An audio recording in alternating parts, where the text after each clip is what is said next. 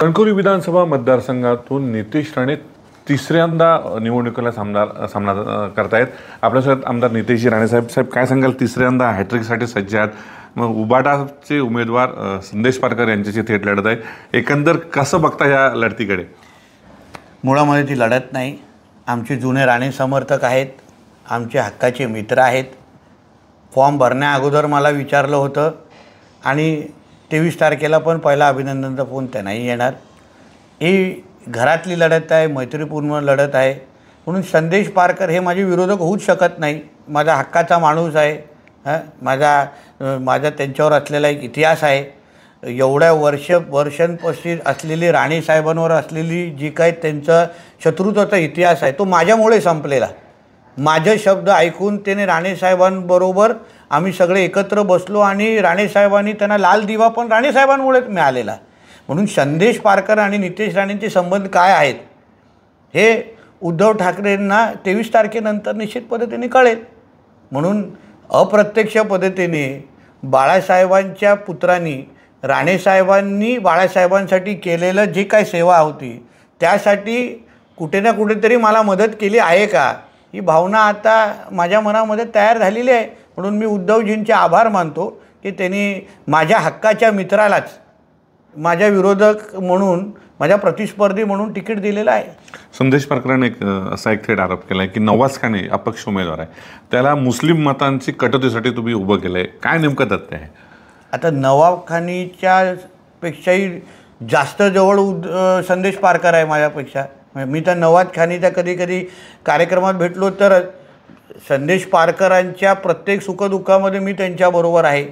आता संदेश पारकर आणि माझ्यामध्ये या दोन आठवड्यामध्ये काय काय चर्चा झाली ही कधी जेव्हा अगर मी तुमच्या चॅनलवर दाखवेन तर मग तुम्ही तुम्हाला कळेल की बाबा नवाब खानी जास्त जवळ आहे जो कोण आहे ते संदेश पारकर आहे.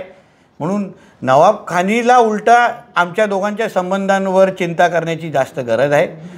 संदेश पारकरांना ठीक आहे आज जबाबदारी मिळालेली आहे.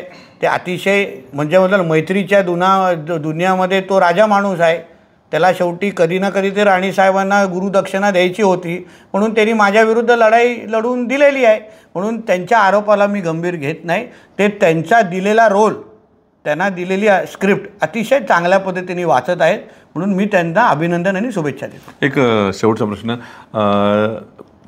लढत आहे. परंतु असं पाहायला मिळतं की उबाटाकडून जे अतुल राव राणे आहेत याशिवाय अन्य काही त्यांचे पदाधिकारी हे कुठे प्रचारात दिसत नाही आणि हे नाराज असल्याचे पाहायला मिळत आहे शेवटी उबाटामध्ये काही लोक इच्छुक होते.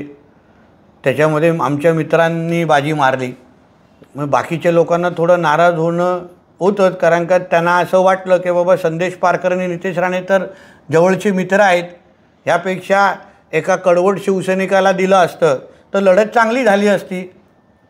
आता संदेश पारकरला मत देण्यापेक्षा नितेश राणेला थेट मत किंवा संदेश पारकरला मत म्हणजे नितेश राणेलाच मत असाच विषय आहे तो. म्हणून हे जे बाजूबाजूला असलेले जे काही कडवट शिवसैनिक होते जे दावेदार होते त्यांना नाराज होणं साजीच आहे. पण आमच्या मित्रांनी त्याच्यामध्ये बाजी मारली आणि मैत्री जोपासली. किती मताधिक्याची आशा वाटते? नाही माझ्या माझं मतधिक्य माझे मतदार निश्चित पद्धतीने त्यांनी ठरवलेलं आहे. शेवटी मी हॅट्रिक हे माझ्या मतदारांच्या आशीर्वादामुळे मी करणार आहे. म्हणून मला विश्वास आहे की तेवीस तारखेला माझ्या मतदारांनी ठरवलेला आकडा हा तुमच्या चॅनलवर ठळक असेल एवढा विश्वासाने सांगतो. अ, धन्यवाद आपल्यासोबत नितेश राणे यांनी त्यांनी स्पष्ट केलं की आपले हॅट्रिक निश्चित आहे आणि या मतदारसंघातून पुन्हा एकदा विजय असा त्यांनी दावा केला पाहायला मिळतो. कॅमेरामॅन वेदांत भरत केसरकर मुंबई तक सिंधुदुर्ग कणकवली.